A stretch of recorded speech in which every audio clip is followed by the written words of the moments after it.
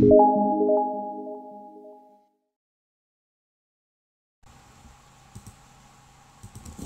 สดีครับ ก็มาต่อที่ EP 2 นะครับ อันนี้จะสอนนะครับการหาสีนะครับ แล้วก็ใช้ if else นะครับ โดยกำหนดว่าถ้าเป็นจริงนะครับ ให้มันทำอะไรแล้วก็เมื่อมันไม่เป็นจริงให้มันทำอะไรนะครับ อันดับแรกก็ ให้ทำการเปิดเบราว์เซอร์มาก่อนนะครับ พอดีผมได้ทำเว็บแบบง่ายขึ้นมาเพื่อให้ได้ทดสอบกันนะครับ เป็นตัวเป็นตัวสีนะครับ พิมพ์ไปตามผมเลยนะนะครับผม slash นะครับ i s o g o o d com slash testbot t e s t นะครับ แล้วก็ bot html นะครับ โอเค ทีนี้ก็ได้แบบหน้านี้มาแล้วนะฮะในหน้านี้ก็จะมีสีขึ้นมานะครับ เป็นตาราง โอเค แล้วทีนี้เราก็นะครับมาเปิดโปรแกรมนะฮะ Automatic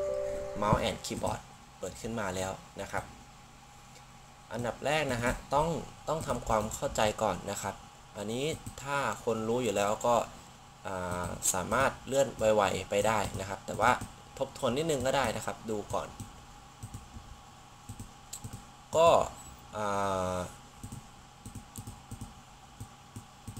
ใหญ่ๆนะครับ ก็ if นะฮะ if เท่ากับเป็นจริงทำความเข้าใจกับผมแบบนี้กันนะ เป็นจริงนะ e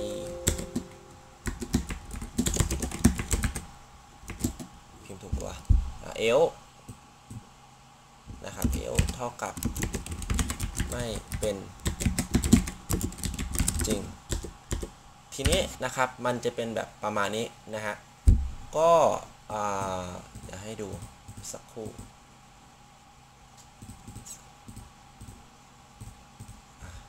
โอเคเราจะเห็นว่ามันจะมี if else นะฮะ แล้วก็อีกอย่างหนึ่งก็คือ n if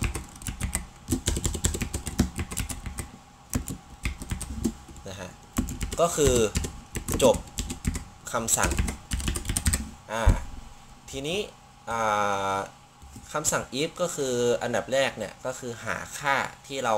ใส่เข้าไปว่าเป็นจริงหรือเปล่า ถ้าเจอถ้าเจอแสดงว่าเป็นจริง มันก็จะมาทำหัวข้อ if ก่อนนะครับ โดยเรียงลำดับเป็นนี้1ก็คือเราจะเพิ่มหัวข้อ if ขึ้นมานะครับ เมื่อเป็นจริงเนี่ยมันจะมาทำงานบรรทัด ข้างใต้ที่อยู่ใต้คำสั่ง if นะครับ อย่างเช่นเราเราพิมพ์ไปว่าสมมติเมื่อ if เป็นจริงทีนี้จะทำงานนะครับ จะทำงาน จะทำงานใต้ if ก่อนใต้ if เอาเอาแบบภาษาชาวบ้านง่ายๆนะครับผม if ก่อน เมื่อทำงานเมื่อมันทักเป็นเขียนผิด เมื่อเจอ if สมมุติว่ากำหนดว่าถ้าเจอสีเขียวนะครับ ถ้าเจอสีเขียวนะครับอ่ามันเป็นจริงปุ๊บเนี่ยมันก็จะมาทำงานใน if ก่อน เมื่อทำงานใน if เสร็จแล้วนะครับ เมื่อทำงานใน if เสร็จแล้ว มันจะ end if นะครับมันมันมันก็จะมา end if ก็คือจะลงมาอยู่ข้างล่างก็คือจะจบคำสั่งนะครับ แต่ถ้าเกิดสมมติว่าให้มันค้นหาภาพสีเขียว แล้วมันไม่เจอภาพสีเขียว มันก็จะมาทำงานใต้เอลนะครับทำงาน ถ้าไม่ถ้าไม่เป็นจริงนะครับ ถ้าไม่เป็นจริงทำงานใต้เอลใต้คำสั่งเอลนะครับ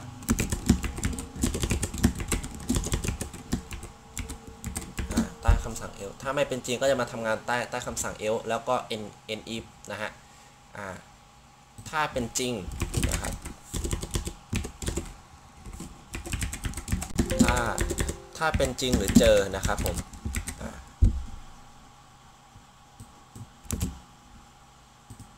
โอเคนะครับ หลักการการทำงานของ if else ก็จะเป็นประมาณนี้นะครับแบบนี้เลยนะฮะทีนี้ผมจะอันนี้ไม่มีสคริปต์เลยนะฮะก็สดๆเลย ก็เดี๋ยวทำให้ดูว่าจะใช้คำสั่ง if กับ else ให้มันทำอะไรนะครับ เบื้องต้นก็จะ ในคลิปนี้ก็จะสอนในเรื่องของการหารูปภาพนะครับ รูปภาพเจอเจอรูปภาพกับไม่เจอรูปภาพแล้วให้มันทำอะไร โดยใช้ message box ช่วยนะครับผมโอเค อันนี้ก็ทำความเข้าใจคร่าวๆ ขึ้นมาเป็นแบบนี้ก่อนนะครับ โอเค อันดับแรกนะฮะ เมื่อเปิดเบราว์เซอร์ของผมเรียบร้อยเนาะ ก็จะได้เป็นแบบนี้ขึ้นมานะครับ อ่า ก็จะมีสีสีนี่แหละนะครับ อ่า ทีนี้เราไม่ต้องใช้ลูปนะครับ เอาแค่รอบเดียวก็พอ ทีนี้กดที่รูปดวงตานะครับ แล้วก็มาที่อันนี้อันแรกนะฮะอ่าแล้วมาที่สีแดงก่อนปึ๊บอ่ามาสีแดง เสร็จแล้วทีนี้นะครับให้เรานะฮะให้เรามามาตรงนี้นะครับ ให้กดคำว่า do not นะครับ do not ก็คือไม่ต้องทำอะไรนะครับก็คือ next เมื่อเจอรูปสีแดงปุ๊บเนี่ยมันก็จะไม่ทำอะไร แต่ว่ามันจะมาดูที่คำสั่งอันที่ 3 ตรงนี้นะครับ ก็คือ next action ก็คือไปคำสั่งถัดไปนะครับ เมื่อตรงนี้เสร็จแล้วเนี่ยนะครับ ให้เรากด insert if if else เข้าไปนะครับ กดตรงนี้นะ แล้วก็กดโอเคนะครับ มันก็จะได้เป็น 3 แง่งขึ้นมานะฮะ เหมือนเหมือนแบบนี้เลยนะครับ แต่ว่าทีนี้เราจะเห็นว่ามันมี 3 อันนะครับ มันไม่มีมันไม่มีอันนี้แล้วก็อันนี้เราต้องเพิ่มให้มันก่อนนะครับ อันดับแรกเราจะมาเพิ่มให้ if ก่อน ถ้าเจอสีแดงล่ะ ให้มันทำอะไร เดี๋ยวเบื้องต้นเดี๋ยวเบิ้ลคลิกขึ้นมาก่อนนะครับ เรามากำหนด area ก่อนนะฮะกด search ทำตามผมเลยนะกำหนด area ให้มันประมาณนี้นะครับดับเบิลคลิกอ่าเสร็จกำหนด area เสร็จแล้วกดโอเคอ่า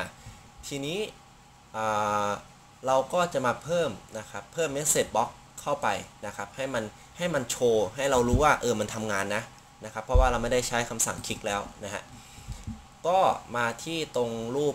คล้ายๆ เหมือนกล่องเครื่องมือช่างนะครับ กดลงมานะครับ แล้วก็มาที่ฟังก์ชันนะครับ กด 1 ครั้งนะครับ เสร็จแล้วมันจะมี message box ตรงนี้เนาะเราก็กดคำว่า message ไอ้ตรงแดงๆนี้นะ กดปุ๊บแล้วเราก็พิมพ์ พิมพ์ว่าเจอสีแดงนะฮะเจอสีแดงอ่านะครับผมแล้วก็กดโอเค เราก็จะได้เป็นเมสเซจขึ้นมานะครับ ทีนี้กดนะครับกด Ctrl A นะครับให้มันเป็นแบบนี้นะ หรือจะอย่างนี้อ่าไม่ได้นี่ว่ากด Ctrl A แล้วก็คลิกขวานะครับ เลือกอันนี้นะนะครับผมอันล่างสุดโอเค เสร็จแล้วใส่สัก 100 พอ แล้วก็กด Enter หรือว่าโอเคนะครับ ทีนี้เราลองมาลองมารันดูนะครับ ทีนี้ยังไงมันก็ต้องเจอนะฮะเห็นไหมว่าว่ามันขึ้นว่าเจอสีแดงนะครับอ่าทีนี้เรา มาเพิ่มเอลตรงนี้ด้วยนะฮะ กดอันเดิมมาก็ได้นะครับผมกด Ctrl C นะครับ แล้วก็มากดที่ L แล้วก็ Ctrl V นะฮะ เพื่อวางดับเบิลคลิกเข้าไปเพื่อแก้ไขข้อความนะครับ พิมพ์ไปว่าไม่เจอนะครับเพิ่มความไม่ไม่เจอสีแดงกดโอเคนะครับ ทีนี้เราก็มาเปลี่ยนที่เป็นแท็บแท็บ B อ่าแท็บ B มีสีแดงอยู่อ่ามาแท็บ C นะครับ กดมาแท็บ C แล้วกด Play นิดรอ 10 วินะครับ รอ 10 วิมันกำลังหาภาพอยู่เพราะว่าเราไม่ได้กำกำหนดว่าหาให้ให้มันหาภาพ หาภาพให้มันสั้นลงนะเห็นไหมมันมันก็บอกว่าไม่เจอสีแดงนะครับ กดโอเค ทีนี้เราอยากให้มันแสดงผลไวขึ้นไม่อยากให้มันหารูปนาน เรากดตรง if ตรงนี้ครับผมเดี๋ยวบนคลิกเปิดขึ้นมานะครับ แล้วก็เลือกอันแรก ms นะฮะ เอาสัก 1000 วิก็พอ จริงๆไม่ไม่ต้องเปลี่ยนก็ได้นะ เปลี่ยนอันเนี้ยแล้วก็ใส่เป็น 1 ก็ได้นะครับ1วิให้มันค้นหาภาพแค่ 1 วิพอนะครับ แล้วก็กด play อะลองลองดูใหม่นะครับผมมันก็ขึ้นมาบอกว่าไม่เจอสีแดง อันนี้คือคำสั่ง if else นะครับผมอันเนี้ยเราสามารถเอาไปประยุกต์ใช้กับอันอื่นได้นะครับใช้กับอันอื่นได้ ว่าเราจะให้มันทำอะไรอย่างเช่นอย่างเช่นนะครับอ่า อย่างเช่นเมื่อกี้เนี่ยรูปนี้ก็คือให้เจอสีแดงเนาะอ่าทีนี้เรามาเปลี่ยนนะครับเรามาเปลี่ยน message box ให้เป็นอันนี้ ให้เป็นอันนี้นะครับ message box ex นะฮะกดเข้าไปเสร็จแล้วนะครับไตเติลไตเติลเขียนว่าแจ้งเตือนแล้วกัน แจ้งเตือนนะครับ แล้วก็กดโอเคนะฮะ time out ก็คืออจะให้มันขึ้นมากี่วินะฮะ เอาสัก 3,000 3,000 นี่ก็คือ 3,000 ไม่ใช่อ่า3วินะครับผมท้าย yes no yes no โอเคนะครับ return value อเอาเป็น i ก็ได้นะฮะ อะไรก็ได้นะครับ เพราะเราไม่ได้เซตตัวแปร กดโอเคลองทีนี้เราลองกด play ดูก่อนนะ 1 2 3อาหายไปแล้วโอเค ทีนี้มันก็จะหายไปแล้วนะครับ ทีนี้เราก็เหมือนเดิมกด Ctrl C อันนี้ก่อน แล้วก็มาตรงเอวนะฮะ ด้านล่างเอวเนี่ยกดอันนี้ลบทิ้งอะเราใส่ขี้เกียจนะฮะโอเค กดวางเสร็จแล้วดับเบิลคลิกขึ้นมาเปลี่ยนข้อความใหม่นะครับ เปลี่ยนข้อความกดตรงนี้นะ เจอสีแดงเนี่ยก็เขียนว่าไม่เจอ ไม่เจอสีแดงกดโอเคโอเคนะครับโอเค เดี๋ยวลองมาเทสดูปึ๊บอ่าหนึ่งสองสามแล้วก็จะหายไปนะครับผมโอเค ทีนี้เราก็เรียบร้อยแล้ว มันก็บอกว่าไม่เจอสีแดงแล้ว ทีนี้เราจะให้มันทำอะไรนะครับอ่าทีนี้เราจะเขียนคำสั่งให้มันให้มันไปคลิกนะครับ ให้มันเอ่อให้มันมาคลิกคลิกขวาที่สีเหลืองแล้วกันอะถ้าเจอสีแดงให้ให้มาคลิกขวาที่สีเหลืองนะครับ อันนี้คือคำสั่ง โอเค ก็กดที่เมาส์นะครับแล้วก็เมาส์ position นะฮะ กด 1 ครั้งนะครับแล้วก็เลื่อนมาตรงนี้นะฮะ แล้วก็กด control เพื่อล็อกเพื่อล็อกแกน x และแกน y นะครับอ่าจริงๆแล้วเนี่ยเราใช้คำสั่งให้มันหาหารูปสีเหลืองก็ได้นะครับ แต่เราแต่เราเดี๋ยวสอนสอนตัวเมาส์ก่อนนะครับ ให้ให้รู้จักคำสั่งนี้ด้วยนะครับ ไปทีละอย่างโอเค อันดับแรกเอาใหม่นะ กดคลิกตรงรูปเมาส์นะครับเมาส์ position แล้วก็เอาเมาส์มาตรงนี้เราจะเห็นว่ามันมีการขยับนะครับ เห็นไหมแกน x แกน y มีการมีการเปลี่ยนตัวเลขนะครับ มาที่ตัวสีเหลืองนี้นะครับ กด Ctrl หนึ่งครั้งมันจะล็อกนะฮะแล้วทีนี้เราทดสอบดูว่าเราสามแล้วว่าเราเออไปล็อกถูกหรือเปล่านะฮะเราก็มากดตรงนี้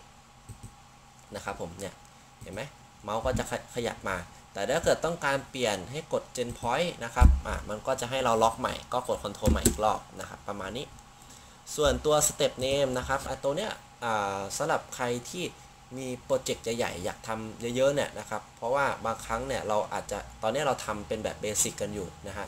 มันอาจจะสั้นๆ นะครับ ซึ่งมันไม่ได้ยุ่งยาก แต่ถ้าเกิดเป็นไม่ได้อยากทำให้มันเป็นติดเป็นนิสัย สเต็ปเนมอาจจะเขียนเป็นว่า เมาส์ขยับไปที่สีเหลืองอเมาส์เลื่อนไปที่สีเหลืองอะไรก็ได้เมาส์เลื่อนไปที่สีเหลืองนะครับ เขียนเขียนเข้าเขียนเข้าไปนะครับ อย่างนี้อ่าแล้วก็กดโอเคอ่าเราจะเห็นว่ามันจะมาอยู่ตัวนี้คือมันจะบอกหัวข้อว่าไอ้ตรงคำสั่งนี้นะที่เราทำไปเนี่ยมันเหมือนเป็นคอมเมนต์บอกว่าไอ้เนี่ยแต่ละอันเนี่ยมันคืออะไรนะครับผมอ่าทำไปก็ได้นะครับ อันนี้ก็เพิ่มไปก็ได้ หาสีแดงนะครับผม ประมาณนี้นะครับ แต่ว่าเพื่อไม่เป็นการเสียเวลาก็เดี๋ยวทำไปนะครับสำหรับใครที่เออกำลังฝึกเขียนใหม่ๆทำเป็นติดเป็นนิสัยก็ได้นะครับผมก็ช่วยได้เยอะเลยเพราะว่าบางครั้งคำสั่งมันเยอะๆเนี่ยเราเราจะได้เวลาเราไปรันแล้วเราผิดพลาดจะได้กลับมาแก้ไขถูกนะครับโอเค อันนี้เมาส์ไปที่สีเหลืองนะครับ เมาส์มันเลื่อนไปเฉยๆตอนนี้พอมันเจอสีแดงใช่ไหมครับ มันโชว์ โชว์เมสเซจบล็อกขึ้นมาบอกว่าเจอสีแดงผ่านไป 3 วิ มันก็จะมาทำงานคำสั่งนี้ต่อนะครับ มันก็จะเมาส์มาเลื่อนตรงนี้ ทีนี้เราจะให้มันคลิกขวานะครับ เราก็มาเลือกตรงเมาส์ต่อนะครับ แล้วก็ left ซ้าย right ขวาอันนี้นะฮะนะครับ right ปุ๊บอ่ามาแล้วนะครับ ทีนี้เราจะเพิ่มนะครับ ไม่ให้เราเพิ่มเราจะเราจะเปลี่ยนให้มันไวๆนะฮะกด control ค้างแล้วก็นะครับมันจะเป็นการเลือกนะฮะคอนโทรลค้างจะเป็นการเลือกนะครับทั้ง 2 อันอ่าแล้วเราก็คลิกขวานะครับเลือกอันข้างล่างอ่าตัวนี้ก็คืออ่ามันประมาณว่าถ้าจบคำสั่งนี้แล้วเนี่ยจะให้มันดีเลย์ประมาณประมาณเท่าไหร่นะฮะก่อนที่จะไปคำสั่งถัดไปนะครับ อันนี้ก็ประมาณเสี้ยววินาทีนะครับ โอเคมันก็จะมาคลิกขวาที่ตรงนี้นะครับลองรันดูนะฮะอ่า message box สามวิเสร็จแล้วเมาส์เลื่อนคลิกขวาอ่าจบไวไปหน่อย ไม่อ่าไม่เห็นเดี๋ยวเพิ่มนิดนึง เอาเป็นสัก 2,000 2วิเอาใหม่นะ ลองดูกด play 3วิ